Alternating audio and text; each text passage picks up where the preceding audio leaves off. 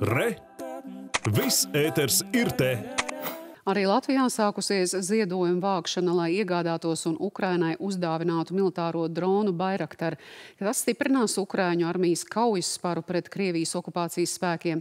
Šie bezpilota aparāti savu efektivitāti jau pierādījuši kara apstākļos iznīcinot pretinieku vienības. Tā cena ir vērām miljonos.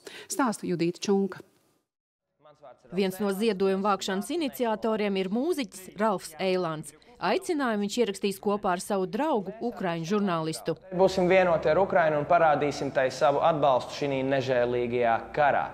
Noziedosim naudu Bairaktaram, kuru ar aizsardzības ministrijas palīdzību uzdāvināsim Ukrainai, lai caur Ukraiņu rokām arī mēs spētu nodot sveicienus Krievu okupantiem. Attālināti vadāmo bezpilota kaujas lidaparātu Bairaktar TB2 ražo Turcijā. Lai tādu iegādātos, ir jāsavāc 5 miljoni eiro.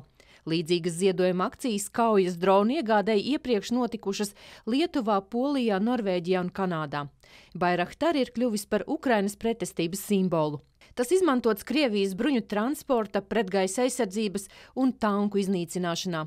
Ir ziņas, ka Bairahtar ticis izmantots arī operācijā, kad ar raķetēm aprīlī iznīcināja Krievijas kreiseri Moskvā. Mana valsts Ukraina arī ir neatkarīga valsts, taču Krievu okupanti un Vladimirs Putins ir izdomājuši mainīt vēsturi. Viņiem gan tas neizdosies, jo spēcīgā Ukrainas armija jau ir pierādījusi, ka spēja aizstāvēt ne tikai Ukrainu, bet visu civilizēto demokrātisko un pats galvenais - brīvo pasauli.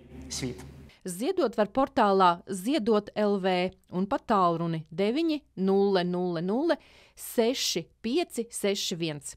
Kā intervijā rīta panorāmai atzina Ziedot LV vadītāja, Ukraiņiem šāds atbalsts ir ārkārtīgi nozīmīgs. Skaidrs, ka tāds viens drons droši vien kara rezultātu neizšķirs, bet kas ir ļoti svarīgi Ukraiņas pusē, ka viņi jūt un redz, ka šīs atbalsts joprojām ir, varbūt arī daži mums saka, kāpēc tikai tagad, bet mēs saku, bet uh, tas ir ilgtermiņa process, un uh, sākumā bija Lietuva, zinu, Kanāda, Polija arī, nu tagad ir mūsu kārta, un uh, Ukraiņi paši to ir ļoti teikuši, viņiem ļoti svarīgi, ka viņi atver no rītā citu valstu internetu portālus vai, vai avīzes skatās, viņi redz, ka sabiedrība palīdz. Tas viņiem dod arī tādu spēku. Kad 5 miljoni būs savākti, ar drona iegādi un nodošanu Ukrainas armijai nodarbosies aizsardzības ministrija. Judīta Čunka, Latvijas televīzija.